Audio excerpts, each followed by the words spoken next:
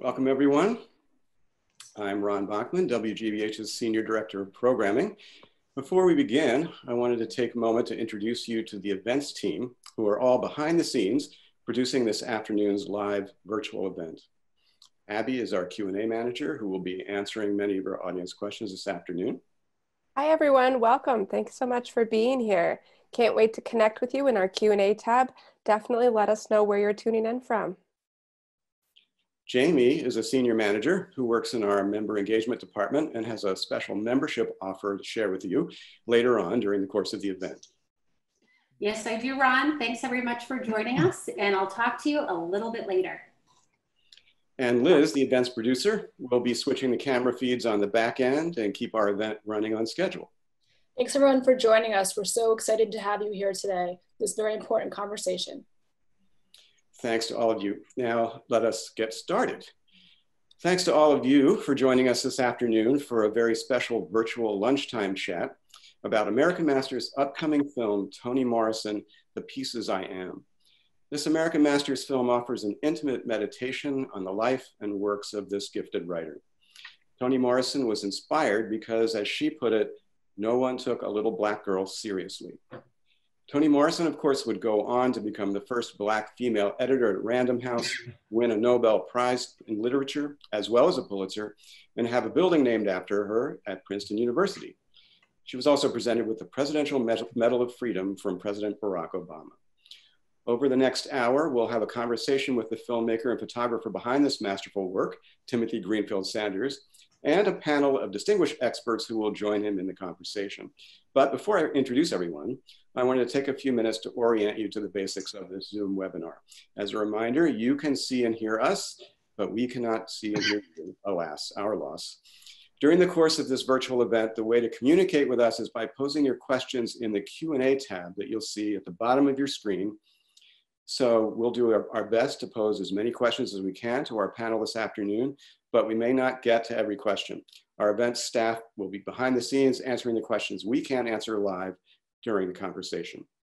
If you see a question you want to hear the answer to in the Q&A tab, you can vote for it by clicking the thumbs up icon on your screen next to the question. The questions with the most votes will then rise to the top of the queue. In fact, let's have you test the Q&A tab right now by typing in the city and state you are from so we can get a sense of where you're tuning in from this afternoon. Go ahead and give that a shot now. While you're doing that, I will tell you that we also have a fun poll feature. When a poll pops up on your screen during the course of the, uh, actually, hang on a second, one popped up on my screen and it is now blocking the view of my script. So there we go. so when a poll popped up on your screen like that during the course of the conversation, simply answer it and it'll disappear from your screen. Now, it's my pleasure to introduce the director of Toni Morrison, The Pieces I Am, who will share a clip from the film. Timothy Greenfield Sanders has photographed world leaders and major cultural figures, including presidents, writers, actors, and musicians.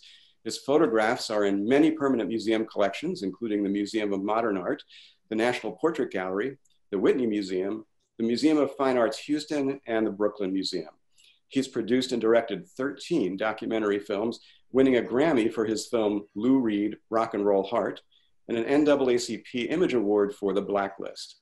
The film we're focused on today won the NAACP Image Award for Best Documentary Film and the Critics' Choice Award for Best Biographical Drama. It was also his fourth film to premiere at the Sundance Film Festival. So without further ado, Timothy. Thank you all for being here today. I am uh, honored to be on a panel like this. Uh, you know, I first met Toni in 1981 I was a young photographer. She came to my studio in the East Village to sit for a portrait. And I remembered very well, she had uh, great confidence. And as a photographer, you kind of look for that in a subject. You look to maybe, in a way, make the subject feel better and feel confident on the set. And Toni didn't need any of that. She was, she was all there. She knew what she was doing. She was smoking a pipe. And we became friends that day. Uh, we went on to uh, a long, long friendship, almost 38 years, um, and I photographed her till uh, till her death, to, to the end of her life. Um, you know, she was a great influence on my life, both as a photographer and as a filmmaker. Uh, the themes that I pursued as an artist were very influenced by her. The, clip we're going to see now is, uh, we, is pulled from the film. It's called The White Gaze. We call it The White Gaze. And it really addresses a number of things, particularly Toni's um, long time, lifelong um, kind of commitment to exposing the white gaze, uh, the white judgmental eye that that is on society at, at so much, so many, in so many ways. Um, the clip also highlights a couple of things that I think are important in the film. Toni looks directly at camera. And it was a way to make it so that Toni tells her story and that she's the center of the film. The others look off camera and talk about her. And I combined that, those two looks uh, in this film because I think it, it was, it could be very effective. It turned out to be very effective. Um, I, uh, it was a risky thing to do because you don't know if it's going to really work. Um, there's also, you're going to see work by African American artists because I felt there was a great connection there that was important.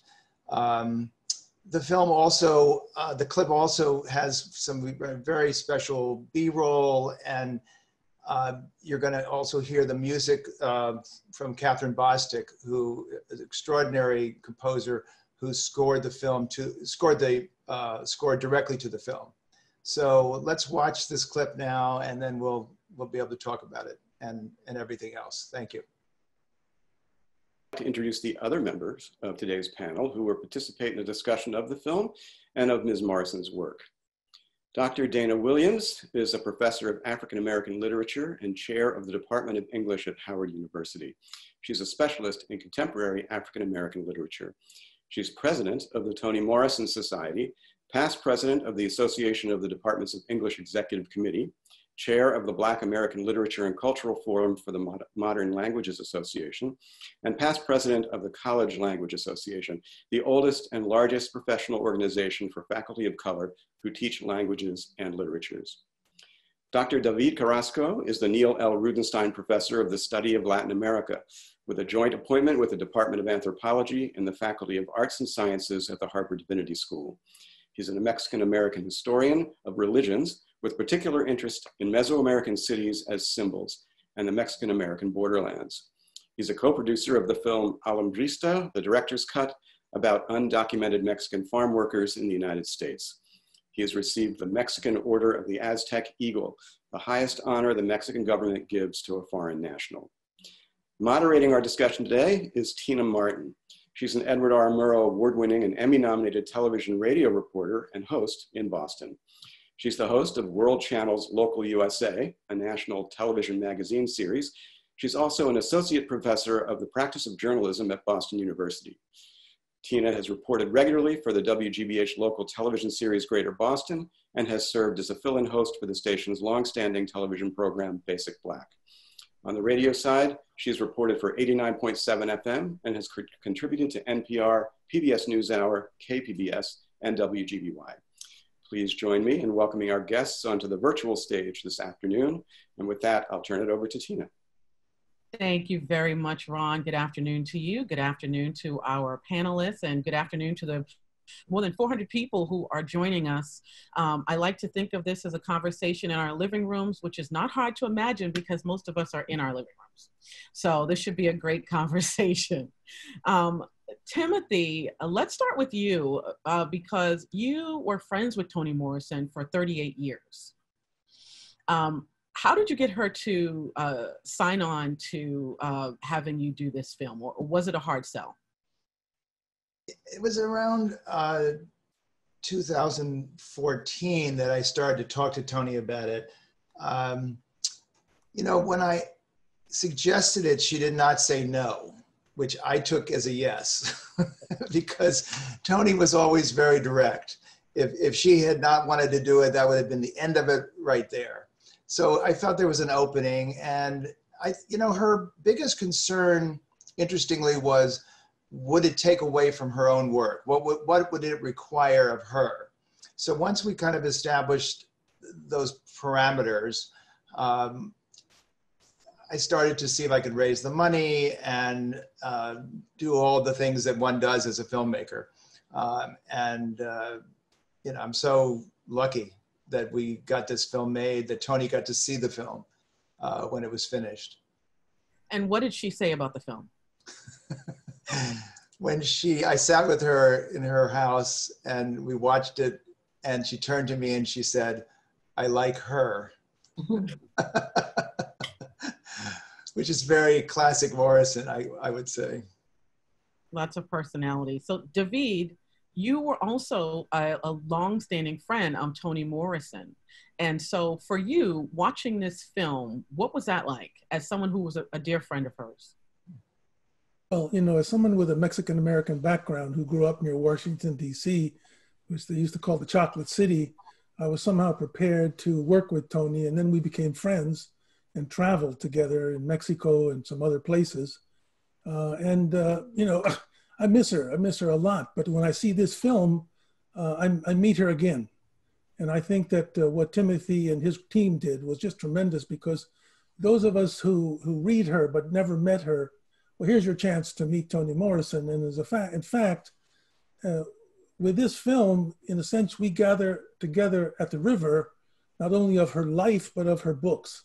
And I think that combination is really special. And so uh, uh, I, am just so glad to to be a part of the project and to to be able to see what now everybody can see. So I think it's going to be wonderful that American Masters is going to be sharing this uh, with the whole country.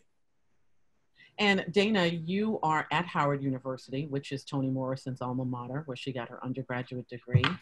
Um, talk to us. I have two questions for you. The first is, what are the conversations right now on campus about Toni Morrison? So one of the things that I'll say is I hope um, the conversations are influenced in part by some of the work that we're doing as faculty. Um, I know, for instance, this semester I taught a graduate seminar on Toni Morrison and her editorship at Random House for the first half of the semester. And then our post-COVID moments were actually um, some of the novels.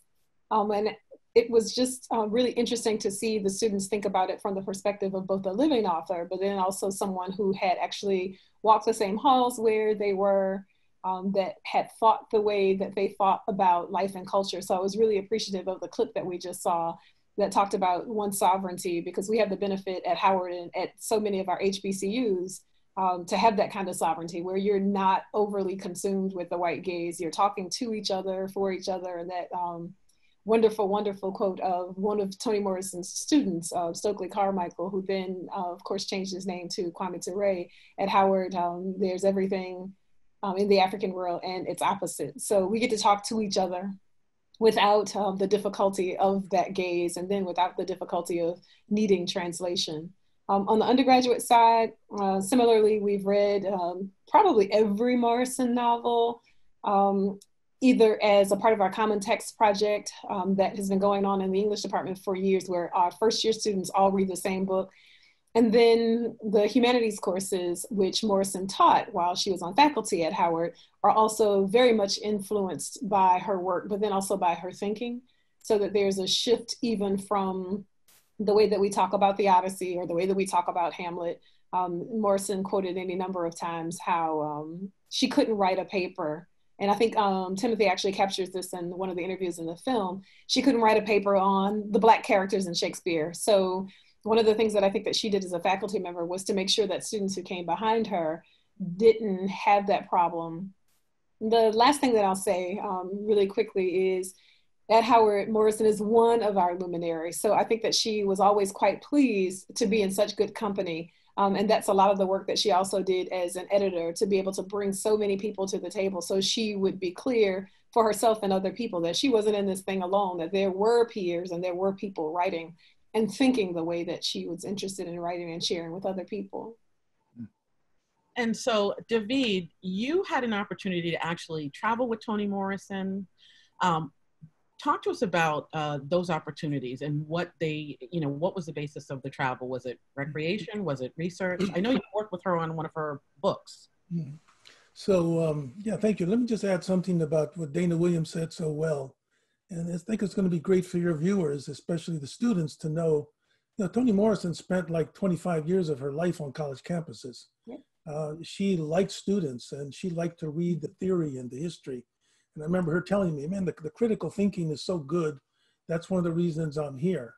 Uh, and so I met her at Princeton and um, we connected and she actually asked me to do some research for her novel um, uh, Paradise because she was interested in the theme of paradise and also she knew I worked in Latin American religions and she wanted to do, uh, she wanted to know more about the way in which Afro-Brazilian women did their rituals. And so I did this and we, we became uh, you know, friends and she became interested in my work in Mexico. Um, and she also wanted to meet uh, Gabriel Garcia Marquez, uh, the great Colombian writer. And I, uh, through, through Carlos Fuentes, the Mexican writer, I arranged that and we traveled to Mexico to see not only the Aztec pyramids, which she was greatly interested in, but also um, also uh, Garcia Marquez. She gave a talk at the uh, National University during the interim period when students weren't on campus. But when we got there, we couldn't get out of the car because people all came to see Toni Morrison. And the Mexicans knew Toni Morrison. They identified with her writings because they felt in some way, even as she talked about the Black struggle for freedom, that she was also talking about them. And uh, she, she greatly appreciated that reception. And I think it's, it's an important thing to know that there's an international Toni Morrison as well. And that's one of the things I learned by traveling with her. And she was able to connect with everyone. I mean, she's one of my sheroes and many of the people who are watching and who will be watching the film tomorrow. Um, so Timothy, with that having been said, was it difficult to figure out who you were going to include in the film? Because there are so many people who could say so much about Toni Morrison. Well, if uh, you remember that Toni was a great editor, and uh, I presented her with a long, long list of names. And she took out her red editing pencil and crossed out most of the names. Oh, okay. so, in a way, she curated that list for us. And I'm so grateful that she did uh, for a number of reasons, but particularly because I don't like to interview someone for a film and then not have that person in the film. So this was a way to really isolate it, to cull it down to 12 people we ended up having. There was one, there was a 13th who didn't make the film, Peter Sellars. He's in the DVD extras. And he didn't make the film only because it was an easy way to pull out seven minutes from the film uh, it was it was torturous. But uh, Toni was very uh, helpful in that kind of giving us that wide range of people from Angela Davis to Robert Gottlieb to David Carrasco to Farah Griffin, you know, Paula Giddings, this this sort of uh, satellite group of people, and um, the film could have been ten hours, I and we had such rich material from all of these subjects. And Dana, um, no, go ahead. I, I, was actually going to ask you uh, about her time as an editor because I know that's something you wanted to talk about. I was thinking about this as Timothy was talking, uh, really wondering um, how much the audience knows, and they'll get to see some of it in the film about her work um, as an editor and how very deliberate she was, uh, based on even the people who appeared in the film how deliberate she was about curating the story and telling the story. So I spent a lot of time in the archives, uh, Random House's archives, where Toni Morrison was editor for more than 20 years of more than 50 books. And I was curious also to think about how she would have guided Timothy into the process without intentionally guiding. So I'll just give you this like quick example, anecdotal story. The first time that I interviewed her to talk about the editorship, um, I said, well, I want to do the fiction writers. So I want to focus on Toni Cade Bambara, Henry Dumas, Leon Forrest, Gayl Jones. And um, at the time, I didn't know that she had also edited John McCluskey. So she said, well, you know, there are these other novels as well. There's this other fiction. And I said, okay. So we sat, we were ready to talk for our 90 minutes and Renee set us up and we're all ready to go. And she talks about everything except for the novels and the fiction. And I say to myself, come on, seriously? But she's such a great and compelling storyteller that you don't stop the storytelling. You just, you know, you go with it. But then I'm sitting there thinking to myself, now I have absolutely nothing left. You know, I don't have anything for the book that I'm actually trying to write. And you know, she said, "I'm so excited. I'm so glad that you're doing this project. You know, the editorship was really hard. You know, the work that I was trying to do." And I'm thinking, "So why won't you help me more? Like by staying focused, lady." But you can't really say that, right? So she gave me this look that suggested, "All right, I'll give you a little bit more the next time." And then the next time, she started talking about poetry. And then the next time it was, oh, Muhammad Ali, Angela Davis. So part of what I was able to see is this editorship and this conversation about the editorship really couldn't be limited to those fiction writers. We really had to think about all of them. So we began to pull together the list of books that she could remember, that she had notes from, um, and we came up with a list of 45 or so. And then every time I would say, hey, I ran into this in the archive. Is this yours? And she would, you know, either laugh and say, oh, geez, you know, something like memory has escaped me on this one. Yes, I did that. Um, and with this really, really since this fond sense of humor, when she started to talk about some writers, you would lose the rest of the conversation. If you started talking about Angela Davis or Toni Cade Bambara, you were done for the day. So I would avoid talking about those writers so that I could get in some other parts of the conversation. So all of that to say, I was curious how much of that kind of gentle guidance where you don't even know you're being guided. You think you know where you're going, and she lets you think you know where you're going, only to get to the point where she knew you would have gone in the beginning. And that was just the kind of mind that she had. You know, we have um, thank you for that, Dana. This is all, you know, this is fantastic. We do have over 400 people joining us. So I want to get to a couple of questions, if that's okay with the panel. Um, we have Sherry Campbell, who is from um, Ohio. Uh, you were friends with Toni for 38 years. Was there anything new you learned about Toni in the process of making the film? And if so, what was the most interesting or surprising?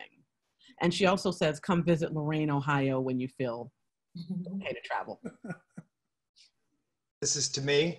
Yeah. Yes, that's to you. Uh, you know, Lorain, Ohio was a revelation for us in the film. Johanna Giebelhaus, uh, the editor of the film, uh, went out there and spent days there uh, with the Historical Society and uh, the library there and, and um, Sherry. And, um, you know, we, Johanna unearthed incredible images that hadn't really been seen before. Pictures of the town that had been kind of shot in the 30s and 40s and buried away in these archives. So we were able to access extraordinary uh, material that way.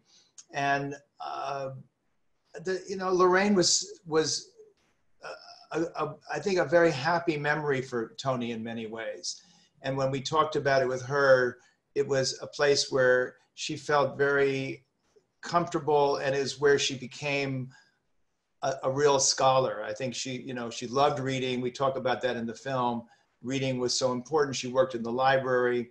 So um, we couldn't have made this without uh, Johanna's wonderful visit to, to Lorain, Ohio, and, and the help we got there. Excellent. Okay. Um, audience, please feel free to chime in. We are looking at your questions. We're taking your questions. We want to engage with you. This is an opportunity uh, for you to uh, ask them questions prior to seeing this film. So certainly um, go into your Q&A and ask us a question and we're trying to answer as many questions as we can. This question is for David. What does Toni's work and her words in this film teach us about the place, value, and prophetic obligation of the brown Latinx gaze? Wow, that's a great uh, that's a great question. And, JPS. I don't know who JPS is, but if you want JPS, you can go back in and tell us your full name, and we'll announce JPS. It. Yeah, I think I know JPS. So, uh, okay. uh, well, you know, I have a line in the film uh, that says that uh, for me, Toni Morrison is the Emancipation Proclamation of the English language, and and by that I meant not only does she, in a sense, uh, you know, put the white gaze aside uh, but as she said, she wanted to be among Black people. She wanted to write for Black people. And what has happened is she's come to be among people of color and, and, uh, and write about, about their experiences. And, you know, for me, and I think for many Latinos in this country, Toni Morrison's books are what I call sacred bundles. And when we, we read these bundles, we open up uh, so much not only of her own vision of the world, but of of our experience of the world beyond the Black experience. Um, and um, we learn so much about ourselves. I remember one time in uh, Boulder, Colorado, where she was giving a talk, and afterward there was a long line of people that wanted to to have her sign, and they weren't just asking for a celebrity to sign; they were asking for her to speak to them. And so many of them talked to her as though she had healed somebody in their family. Uh, and what this means for the Brown community is something that she talked about in the in the um, reading from the film uh, from Sula, where she talked about the magnificent hatred that Black people feel. Well, Brown people feel that too. And the thing about Toni Morrison's novels and her person is that, as you see in this film, there's a magnificence about her. And I remember one time we were in Mexico and we were in the green room after she gave a talk. And this Mexican journalist came up to me and he said to me, I can't believe it. And I said, What is it you can't believe? And he said, To be here in the same room with Toni Morrison. And I said, Yeah, isn't it wonderful? And then he said, It's like being with a divine person. Mm. It's like being with a divine person because the Mexicans, they saw the magnificent goodness in Toni Morrison. So I think that's the way I would think about answering that question. Thank you. Um, Emilda has a question. This is probably for you, Dana. What is the book that freshman students are reading at Howard University? Well, I'm not sure exactly if she meant which of the Morrison books we've read. Uh, most recently, we read um, The Bluest Eye and Song of Solomon. And for the fall semester, we the most recent fall semester our common text was um, repair a very timely book about reparations uh, but morrison text i don't know that we have not read them all so that's a tough one okay um, Andrea Baker, I'm just trying to get to all these because I see them mm-hmm. popping up and I know people have questions. Andrea Baker says, although it's nearly impossible to speculate, what would Toni Morrison say about the Black Lives Mo uh, Matter movement today? Any one of you can take that. Who wants to take it first? Timothy? You know, I think I would never speak for Toni to begin with, but I I think what Toni has been saying throughout her life is so relevant today. You you could go back to the 1993 interview with Charlie Rose, for example, and uh, which is in the film, a clip from it. That is so on target to uh, the, the, the idea of the white gaze and to how white people need to step forward. It's their racism is a problem they created and they need to do something about it. And she said that, you know, 27 years ago. Um, so, you know, I think reading underst- watching the film, you're going to get a lot out of uh, why she's so special in this moment as well. Does anybody else want to take that or should I go on to some more questions? Dana, do you want to? Yeah, I think I'd say um, read Playing in the Dark, The Origin of Others, and some of those essays and the source of self-regard, particularly in light of the point that Timothy just made, the education that white people have to do for themselves, because you keep in mind, as the clip that we um, saw was very clear. Those novels are for and by and about and as a part of a community of Black people. So read them, you get what you get out of them. But if you're trying to learn, as the like contemporary lingo is now, how to be an anti-racist, Playing in the Dark is as good of a start as anything. But it because it is very clear how those foundational myths of American exceptionalism cause all kinds of problems. I think Paradise does that work as well uh, people who want to deal with the fiction would do well to read that one where she really begins to interrogate the question of whiteness and whether or not it is something that is beyond the social construct and does it matter. Um, similarly, that short story recitatif where you know you're left trying to figure out which of the girls in that story is black or white, and again having to think about whether or not it matters. I think you can't really go wrong with home hmm. um, and a mercy which critically in this moment um, helps us to think about what is America other than a settler colony? What was it before um, the onset of enslavement? And what kinds of myths do you have to shore up to make it possible for you to essentially take African people to make them capital and take land from people who live in a space? And so you get I, I, think all of those books actually speak to Black Lives Matter. The final thing that I'll say really quickly is you got to read a lot. There were few people that were smarter few people that were more read. Part of the reason that she could be in so many conversations in so many places is because she was always reading and reading across genres and reading across authors and so on. So be in conversation with what other people have already said. Excellent. Okay, we have more questions. All right, Flory Johnson, what helped the young Toni Morrison develop the confidence and perspective to free her books from the quote white gaze? And how is that growing up in our society uh, didn't repress that talent? David, David, do you want to take that one?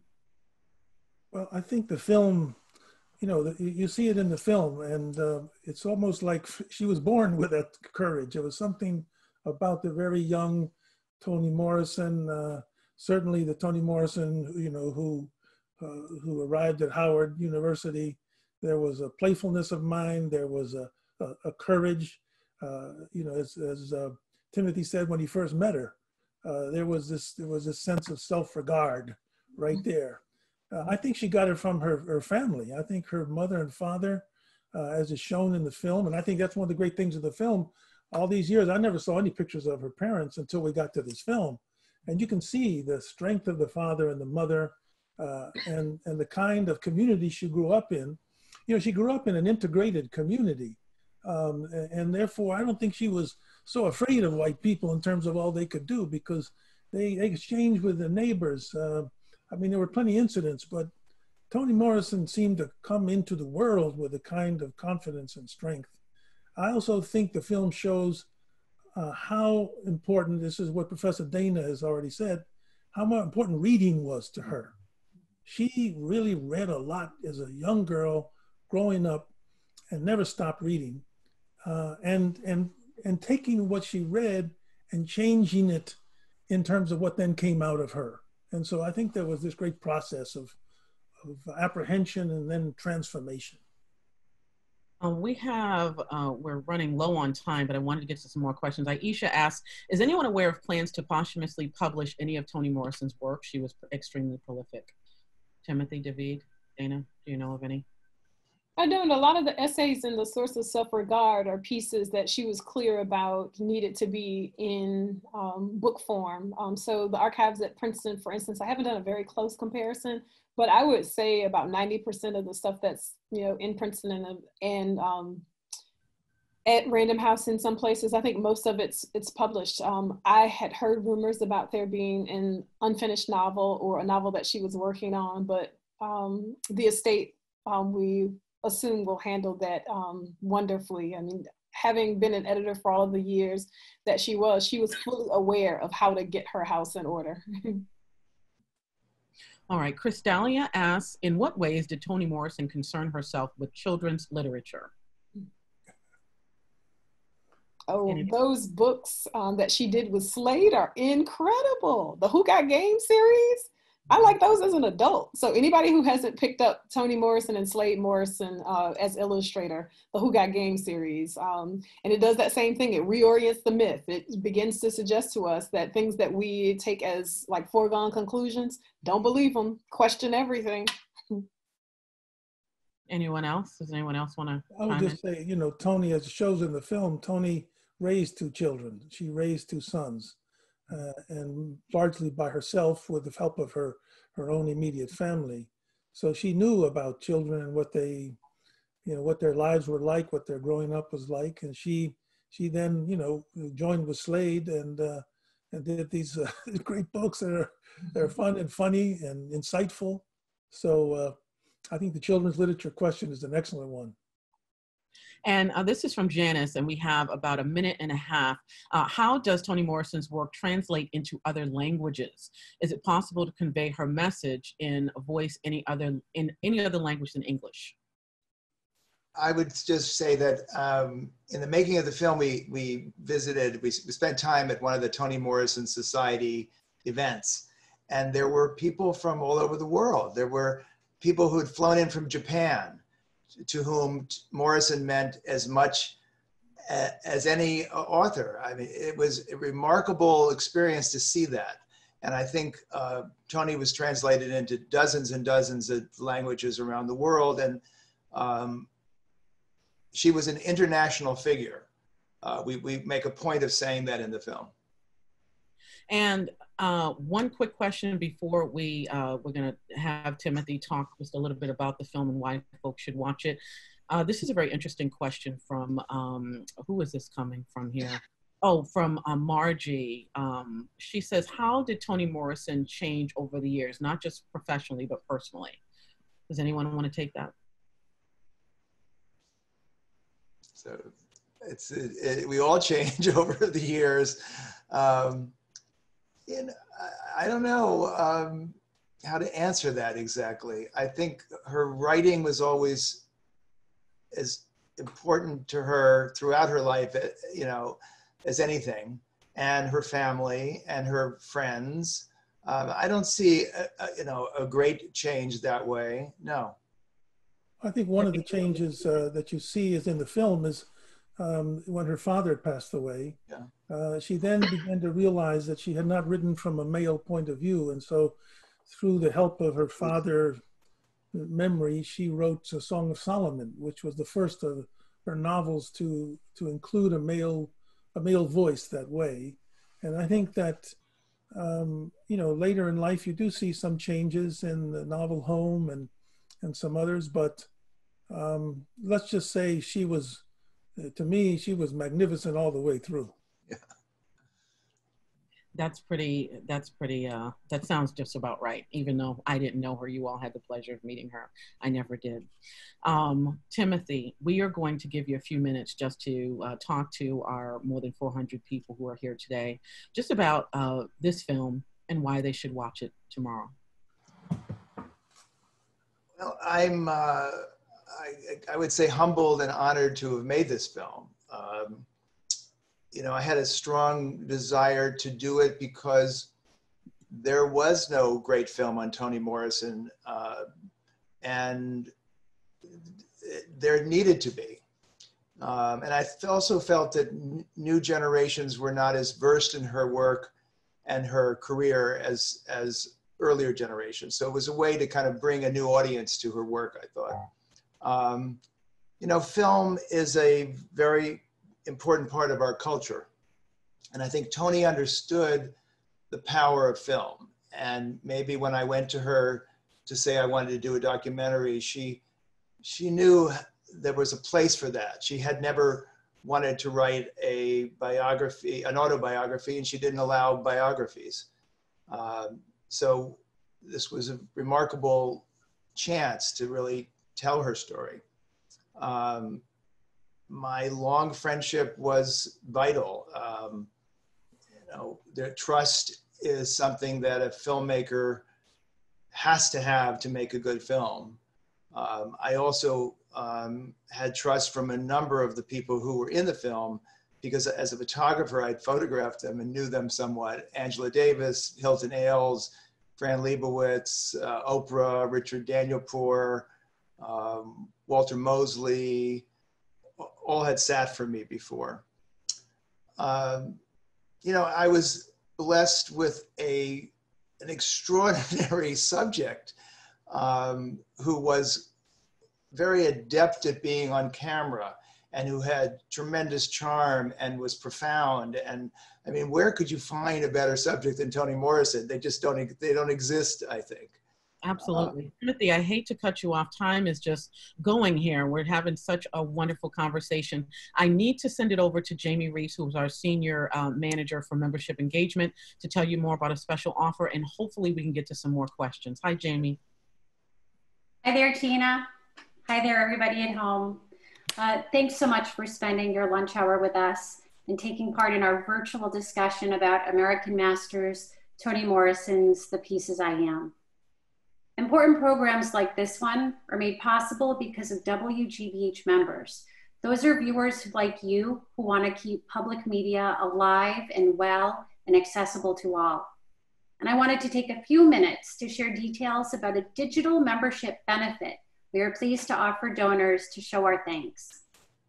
When you support WGBH and shows like American Masters, your donation of $5 a month or more also unlocks a whole new world of content.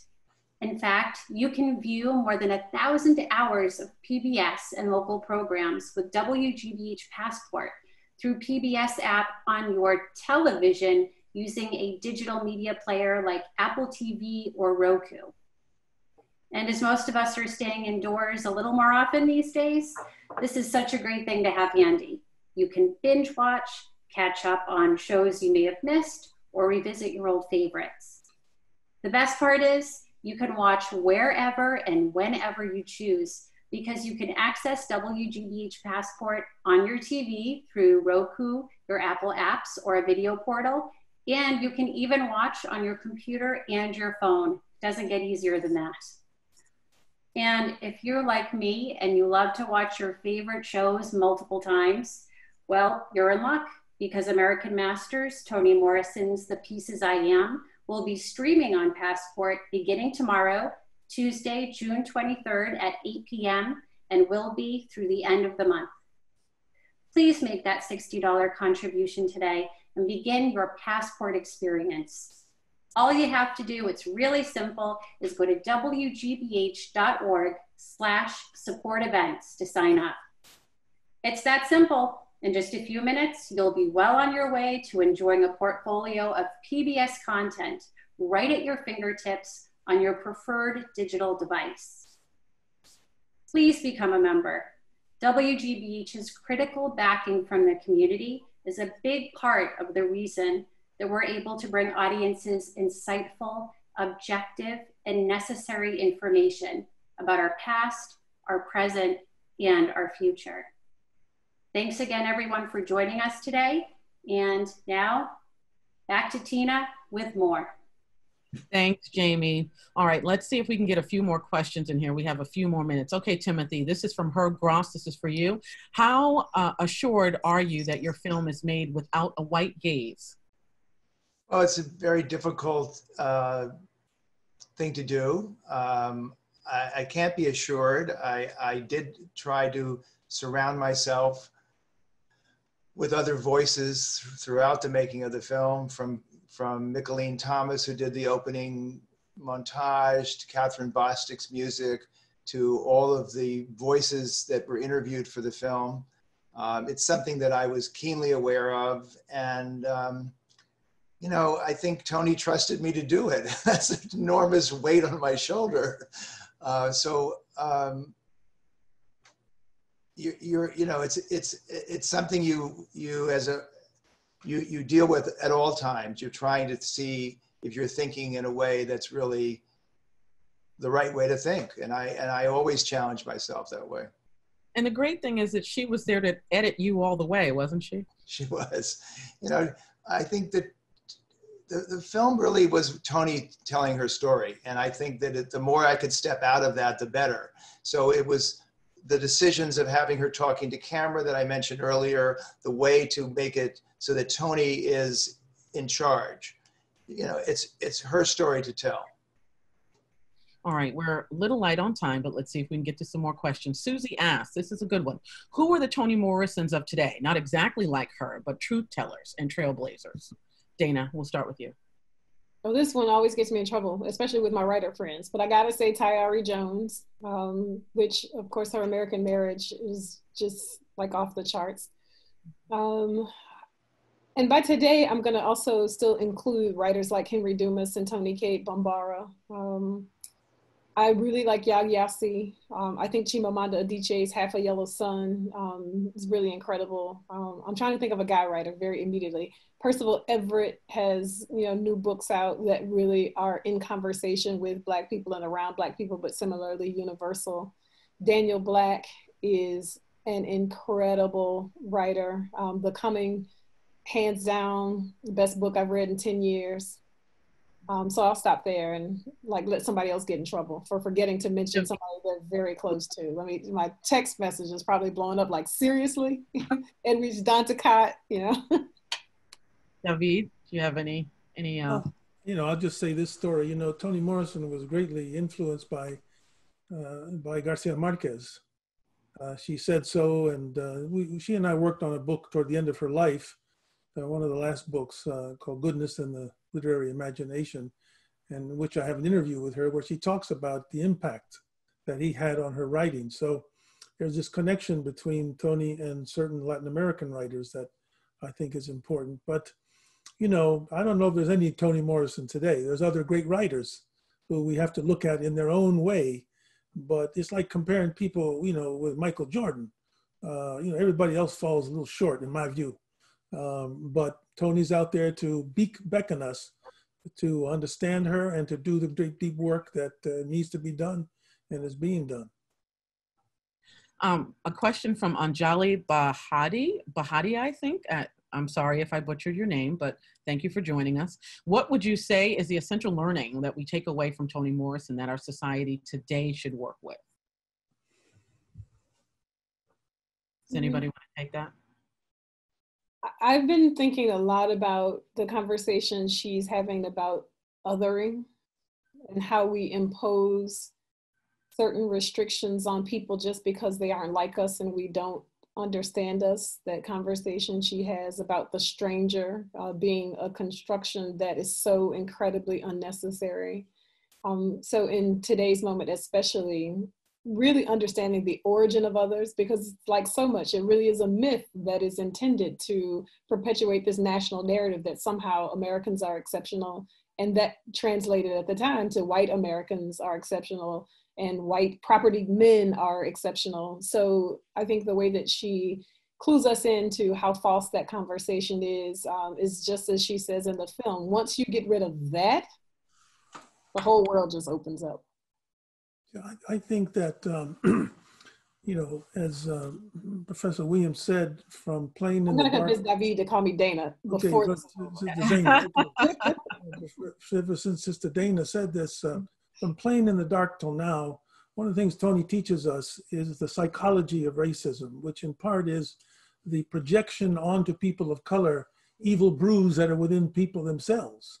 Um, and uh, she talks about this all, again and again to be aware of the kind of uh, difficulties and uh, smallness and, and problems people have within themselves and how they, they that gets triggered when they meet the other and they project onto people uh, their own problems and then blame the people that they projected it onto for the problems uh, that they say they're bringing to them. That kind of deep, deep psychological insight's been there all along, and we see it so much now in the in the power of the Black Lives Matter movement.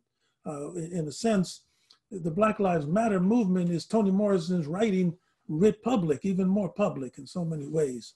And I think that's really crucial. In the film, there's one moment where she's asked in a way, or how come you aren't out there marching? And she said, I wanted to keep a record. I wanted to keep a record. And the record that she kept is now what Black Lives Matter in many ways is acting out, which is criticizing this kind of projection of issues within the white gaze itself that have been pasted upon black and brown people uh, and then blame them for those problems. And Timothy, do you want to add anything very quickly? It was almost Yeah, I would, I would say that Toni talked about Shakespeare, and she said that he knows or senses or digs up so much truth about human beings.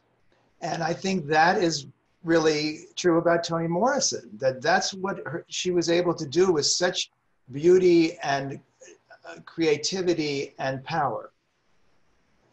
Let's try one more question before we get out of here because I know everyone's engaged. And Nathan wants to know what do you think Miss Morrison would think about the growth of African American and African women writers who write in the science fiction fantasy world, and did she mentor any of them? As quickly as we can, get an answer.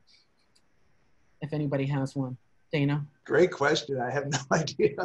if I want to say anyone. she's I think aware of Octavia Butler. I want to say there's some correspondence between her and Octavia Butler trying to get a blurb for her or something, but that's a good question. I'm gonna I'm gonna play with that one for a while. I mean, her, her influence is is monumental. I don't think we can we can really capture how powerful her influence was.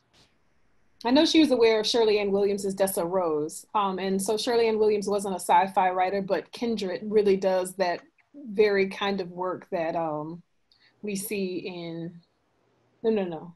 Um, oh gosh, I'm losing Dessa Rose's, Dessa Rose, yeah, Sherley Anne Williams' Dessa Rose does the same kind of work that Kindred does. David. I know, but I think that uh, she would have, my, my, the knowledge I have of Toni, she would have liked it. She would have been supportive of it as, as long as the, as long as it's, you know, good writing, you know, good writing. The craft was so important to her. Good craft, like quality craft. She talked often about how it pained her to see a book poorly edited. Um, just in terms of like the line, the word choice. Like, why would you choose that word? It's not the perfect word. Well, geez, this hour has went by so quickly. Um, Timothy, I'll give you one minute. We have one minute left. If you can uh, summarize us in one minute, that would be phenomenal. I And then can't, I can't, I can't possibly do that, but I can, I can urge you to tune in uh, tomorrow night, eight o'clock uh, Eastern time, to a film that that we all worked so hard on. That I think is a great film. And I, I say that as the director and producer. It's it's a great film, and it's a great film because it's Toni really talking to us. It's an intimate place where you're you're able to sit there and feel like she's in the room with you. So please watch it and tell everyone else to watch it. Um, I'd be we'd all be very happy if you do. Thank you so much. Thank you to our panelists. We really appreciate your time and this great conversation. That is our program this afternoon. We want to thank all of you for spending your lunch hour with us. Please tell all of your friends and save the date and tune in for tomorrow, as Timothy said, Tuesday, June 23rd at 8 p.m. Eastern Standard Time, 7 p.m. Central Time on PBS to enjoy American Masters, Toni Morrison, The Pieces I Am. It also streams on the PBS video app and pbs.org slash Toni Morrison. And as Jamie Moore, as, as Jamie Reese mentioned earlier, if you're a GBH member, WGBH member, you can watch the film on PBS Path Passport 2 or become a member and to receive this benefit you would um, be able to watch it on PBS Passport. Before you leave this afternoon, if you can take a minute to fill out our survey that's going to pop up, you're going to see it on your screen. We really appreciate your feedback on that. As always, you can stay informed on virtual events that we have coming down the pike by visiting our events page. That's wgbh.org slash events. Please stay safe and healthy. Have a great afternoon, and we really appreciate you spending some time with us. Take care.